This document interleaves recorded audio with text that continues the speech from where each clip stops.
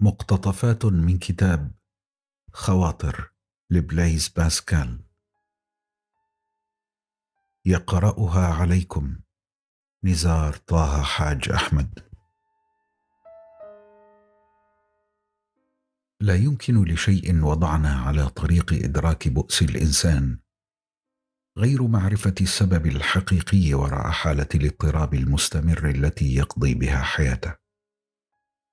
لقد ألقيت الروح في الجسد لتمكث فيه لوقت قصير. وتعرف أن الجسد ليس إلا معبرا نحو رحلة أبدية. كما أنها لا تملك من الزمن سوى القليل قبل أن تنفصل عنه. إذ إن الضرورات الطبيعية تنزع من الزمن قسطا كبيرا ولا يبقى لها سوى القليل من الزمن المتاح للذات. لكن هذا القليل المتبقي عسير للغاية ويضايقها على نحو غريب حتى إنها لا تفكر إلا بمضيه. إنه لعذاب عظيم أن يضطر المرء لقضاء الوقت مع نفسه مفكرا في ذاته. وهو إذ ذاك لا يحرص على شيء قدر حرصه على نسيان نفسه وترك الوقت القصير والثمين. يهدر دون تفكير مهتما بأمور تشغله عن التدبر فيه.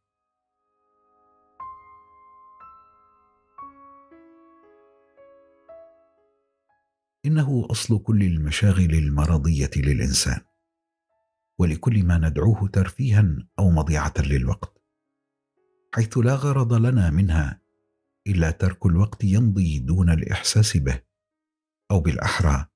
دون أن نستشعر به ذواتنا.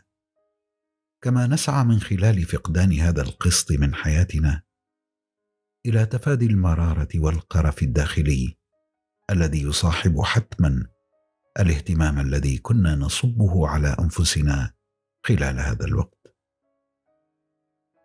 لا تجد الروح في ذاتها ما يرضيها بل ولا ترى إلا ما يكربها حين تفكر في الأمر.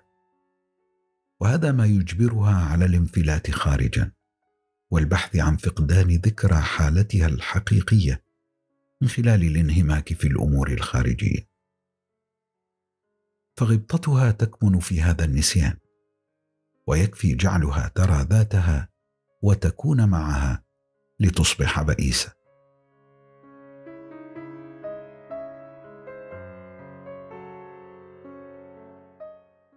إننا نحمل الإنسان منذ الصبا عبء صون كرامته وثرواته بل وحتى خيرات وكرامة أسلافه وأصحابه. ونكبله بدراسة اللغات والعلوم والرياضة والفنون. نكلفه بمشاغل شتى. نفهمه أنه لن يصير سعيدا إذا لم يحرص بمجهوده وعنايته على صون ثروته وشرفه. وكذا ثروه وشرف أصدقائه. وأن اختلال أي من هذه الأشياء سيردي به تعيسا. وهكذا نشغله بأعباء ومهام تؤرقه من مطلع الفجر. ستقولون يا لها من طريقة غريبة لجعله سعيدا. ما الذي يمكن فعله اذا لنجعله تعيسا؟ اسألوا أنفسكم. ما الذي يمكن فعله؟ لا ينبغي سوى إزالة هذا الحمل عن كاهله. لأنه مذاك لن يرى ويفكر إلا بذاته. وهذا ما لا يمكنه بأي شكل تحمله.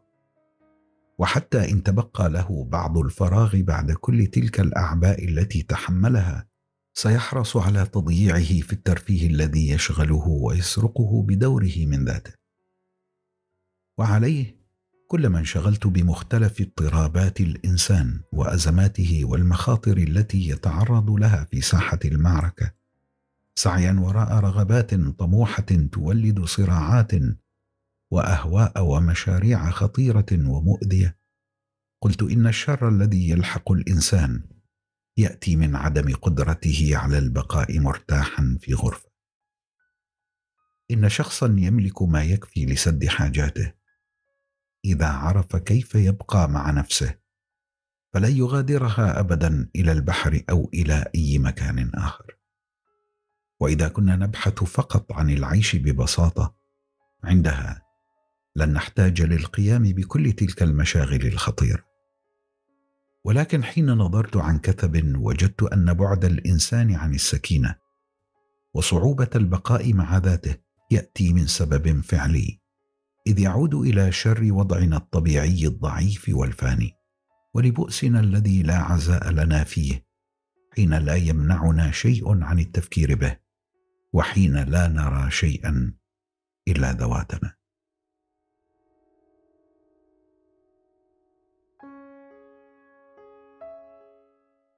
لا أتحدث إلا عن أولئك الذين ينظرون لذواتهم بغير منظار الدين. إنه لمن معجزات المسيحية في حقيقة الأمر أنها تصالح الإنسان مع ذاته. عبر مصالحته مع الرب كما تجعل التفرس في ذاته محتملا. وتجعل من العزلة والسكينة مستحبين للكثيرين أكثر من الاضطراب وباقي مشاغل البشر. ألا تنتج من إيقاف المرء في ذاته آثارها الأكثر ابهارا؟ ولا تفعل ذلك إلا بإيصاله بالرب ودعمه في شعوره بالبؤس. عبر تطلعه لحياة ثانية ستحرره كليا. ولكن لأولئك الذين لا تحركهم سوى طبيعتهم فمن المستحيل أن يبقوا في هذه الراحة التي تتيح لهم أن يتفرسوا في ذواتهم دون أن يهاجمهم الحزن والأسى. ذاك الذي لا يحب إلا نفسه لا يكره شيئا قدر كرهه البقاء وحيدا مع نفسه. فهو لا يبحث عن شيء إلا لنفسه ولا يهرب من شيء قدر هروبه من نفسه. لأنه حين يرى نفسه لا يراها كما كان يرغب أن تكون ويجد فيها كما من الآلام لا مفر منه وفراغا ماديا وحقيقيا يصعب عليه ملؤه.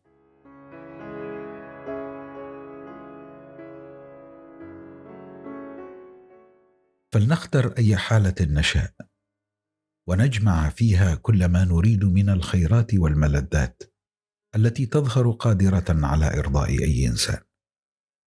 إذا كان هذا الإنسان الذي سنضعه في هذه الحالة بلا مشاغل ولا ترفيه مفكرا في ماهيته فإن هذه الغبطة القاهرة لن تنتشله مما هو فيه. سيقع بالضرورة في تصورات سوداوية عن المستقبل. وإذا لم نشغله خارج ذاته فسيغدو بالضرورة تعيسا.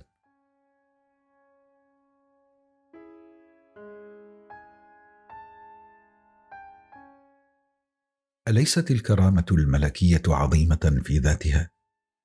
بحيث تجعل الذي يمتلكها سعيدا بمجرد النظر لما هو عليه. أيجب إلهاؤه عن هذه الفكرة مثل ما هو الحال بالنسبة للعوام؟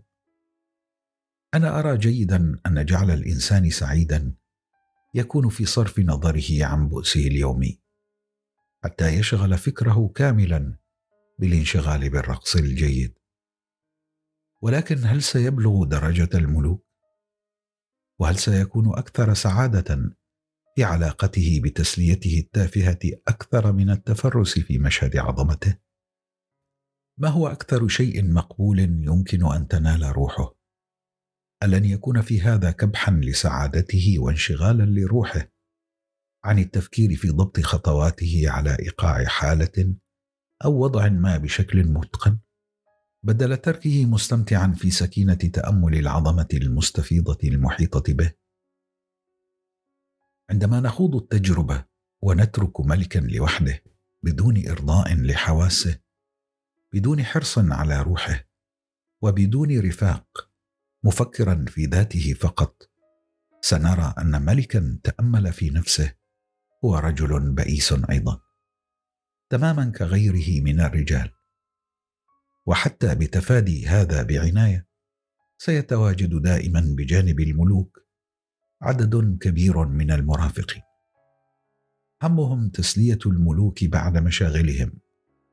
مهمتهم ملاحظة أوقات الفراغ وملؤها بما لذ من المتع والألعاب. حتى لا يبقى ثمة من فراغ أي أنهم محاطون بأشخاص مهتمون للغاية.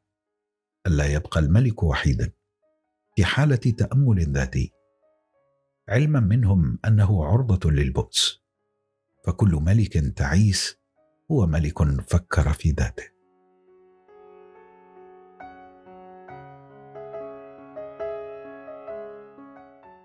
إن الشيء الجوهري الذي يدعم الإنسان أمام أهواله الكبرى والمعذبة هو أنه يصرف عن التفكير في ذاته دائما. احذروا من هذا.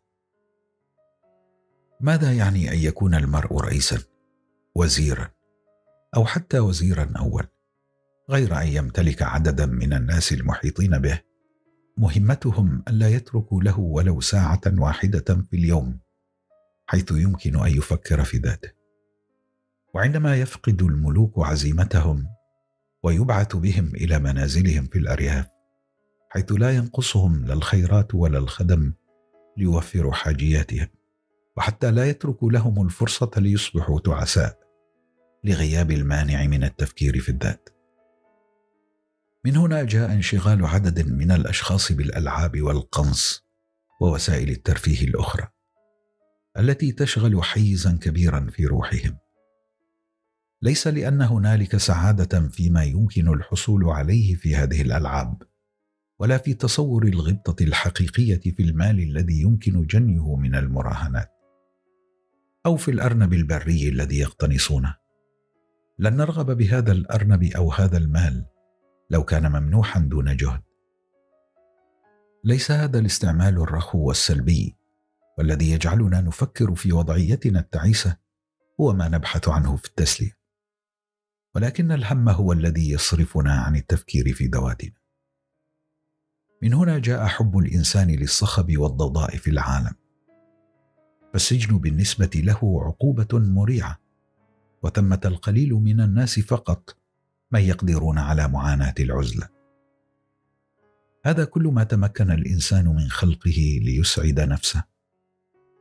والذين يتسلون بإظهار تفاهة وانحطاط تسلية الإنسان يعرفون جيدا حقيقة جزء من بؤسهم. لأنه بؤس أكبر من القدرة على التسلية بأشياء خسيسة وكريهه لكنهم لا يدركون الجوهر الذي يجعل بؤسهم ضروريا. ما لم يسلموا من البؤس الداخلي والطبيعي الذي يشترط عدم القدرة على معاناة النظر إلى الذات. لو أن شخصا اشترى هذا الأرنب البري ما كان ليمنع عنه الرؤية ولكن القنص يمنعها. وحين نلومه على ذلك أي على بحثه المستميت الذي لن يرضيه وأنه ليس ثمة ما هو أتفه وأدنى مما يبحث عنه. لو أن استجابته كانت سليمة ومفكرا فيها لوافق. ولكنه يعترض قائلا أنه لا يبحث سوى عن ملهاة عنيفة وشديدة ليصرف نظره عن ذاته. ولهذا يقترح على نفسه شيئا جذابا يغريه ويشغل وقته. ولكنه لا يجيب حتى بذلك. لأنه لا يعرف نفسه. إن رجلا نبيلا يعتقد صراحة بوجود شيء عظيم ونبيل في القنص سيقول أنها متعة ملكية تماما مثل باقي الأمور التي تشغل الناس. نحن نتخيل بلوغ شيء صلب وحقيقي فيما نبحث عنه. نقنع أنفسنا أننا إذا ما بلغناه سنرتاح مستمتعين. ولا ندرك طبيعتنا الجشعة وصعبة الإرضاء. نعتقد أننا نبحث بحق عن السكينة ولكننا لا نبحث في الحقيقة إلا عن الاضطراب.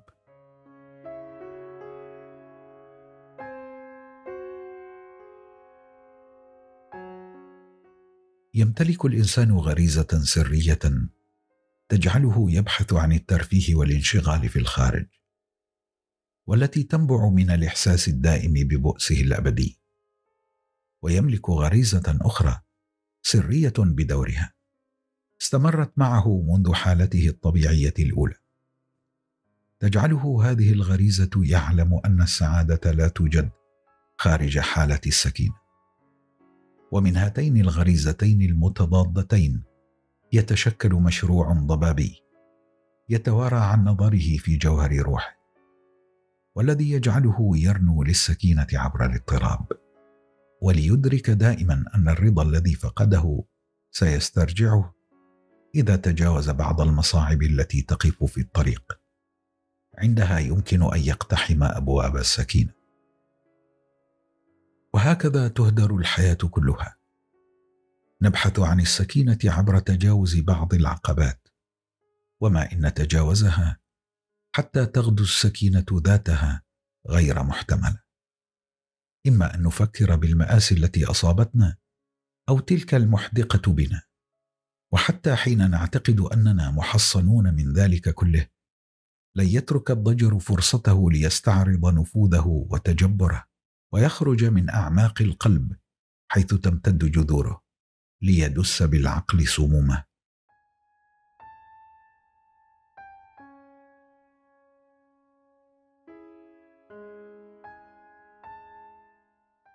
علينا أن نعترف اذا أن التعاسة بلاء مكتوب على الإنسان بحيث قد يضجر دون أي سبب خارجي بل حالته الطبيعية كفيلة لوحدها بجعله ضجرا. هو بالتالي ضعيف وخفيف للغاية بحيث أنه أمام ألف سبب جوهري للضجر. يكفي أقل أمر تافه ليرفه عنه. وإذا فكر في هذا بجدية سيتذمر من كونه يرفه عن ذاته بأشياء سطحية وحقيرة أكثر مما يتذمر من مآسيه الحقيقية. وهذه الترفيهات هي أقل وجاهة ألف مرة من ضجره. كيف لرجل فقد ابنه الوحيد وبعد أن كان في الصباح يبكي ويلعن قدره كيف له أن يضحك في المساء؟ لا تستغربوا. إنه الآن مشغول بمحاولة تخمين المكان الذي سيهرب منه الأيل الذي تطارده كلابه منذ ست ساعات. لا يلزم أكثر من ذلك للإنسان مهما كان كربه عظيما. إذا نجحنا بالترفيه عنه مؤقتا سنراه سعيدا لذلك الوقت. ولكنها سعادة مزيفة ووهمية. لأنها لا تأتي من امتلاك شيء مادي وحقيقي. ولكن فقط من خفة روحه التي تنسيه ذكرى معاناته الحقيقية. لتربطه بأشياء بخسة وتافهة لا تستحق أن يتورط فيها. إنها لغبطة مرضية ومسعورة لأنها لا تدل على صحة روحه وإنما على اختلالها. إنه يضحك ضحكة خبل ووهم. لأنه أمر غريب أن تفكر فيما يعجب الإنسان في اللعب واللهو. وعلينا الاعتراف أنها بشغلها للنفس هي تلهيه عن آلامه وهو أمر حقيقي. ولكن هذا لا يحدث إلا لأن العقل يصنع موضوعا وهميا لشغفه فيتشبث به. ما هدف أولئك الذين يلعبون كرة المضرب في رأيكم؟ بتركيز كبير وانهماك جسدي أكبر. إن غرضهم هو التباهي أمام أصدقائهم في اليوم الموالي بأنهم لعبوا أفضل من المنافس وهذا سر ارتباطهم باللعب.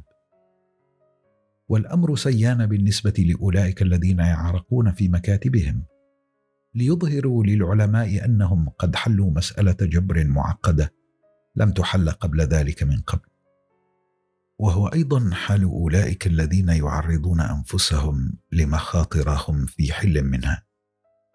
ليتباهوا أنهم بمكانة لا يستطيع غيرهم بلوغها بشكل يوحي بالبلاهة في رأي. وفي النهاية هناك أولئك الذين يستهلكون ذواتهم لملاحظة كل هذه الأمور. لا ليكتسبوا منها الحكمة وإنما فقط ليتباهوا بأنهم أدركوا عبثها.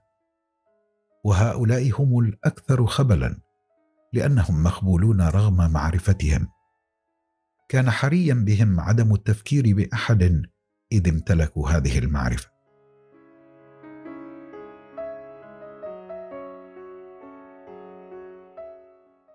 ذاك الذي يمضي حياته بلا ضجر في اللعب والمراهنة كل يوم بأشياء قليلة سيغدو تعيسا إن منحناه كل يوم ما يكسبه شريطة ألا يلعب. قد نعتقد أنه يبحث عن متعة اللعب وليس الربح. ولكنه إذا لعب من أجل لا شيء لن يتحمس ابدا وسيمل. ولا يبحث عن اللعب وحده إذن لأن متعة مستمرة وبلا حماس ستشعره بالضجر. ينبغي أن يتحمس وأن يحفز نفسه. عبر تخيل أنه سيصير سعيدا بربح ما كان ليرفض أخذه شريطة الا يلعب. إنه يصنع لذاته موضوع شغف يثير رغبته وغضبه وذعره وأمانيه. وهكذا فإن ما يرفه عن الإنسان ليس فقط امورا خسيسة هي أيضا مخادعه ومزيفة أي ترتكز على أوهام وخدع. لم تكن لتشغل عقله لو لم يفقد حس وطعم الخير الحقيقي. ولو لم تكن روحه قد امتلأت خسة وتفاهة وخفة وكبرا وعدة مثالب أخرى. هذه الأمور لا تخفف بؤسنا إلا لتصنع بؤسا وشقاء أكثر حضورا وواقعية لأنها ما يمنعنا حقا من التفكير بذواتنا. ويجعلنا نضيع وقتنا هباء. دونها كنا سنمل وهذا الضجر كان سيبحث عن مخارج حقيقية. ولكن الترفيه يخدعنا يسلينا ويرمي بنا بلا إدراك إلى الموت. لما عجز الإنسان عن علاج الموت والبؤس والجهل ارتأى ألا يفكر بها ليصير سعيدا. إن النسيان هو كل ما اخترع الإنسان ليعزي نفسه أمام كل هذه الآلام. يا له من عزاء شقي. لأنه لا يشفي الآلام بل يخفيها لبعض الوقت وهو إذ ذاك لا يجعلنا نعالجها حقا. وهكذا بعد تحويل طبيعة الإنسان صار الضجر الذي كان مأساته الحقيقية خير حليف له بطريقة ما. لأنه يجعله يبحث عن حل حقيقي. والترفيه الذي كان ينظر له كحليف صار الشر المحدق به. لأنه يبعده أكثر من أي شيء آخر عن البحث عن علاج لآلامه. وهذا دليل على بؤس الإنسان وفساده. وهو كذلك دليل على عظمته. لأن الإنسان لا يضجر من كل شيء. ولا يبحث في كل شيء عن مشاغل محتملة إلا لأن فكرة السعادة الضائعة تشغل باله.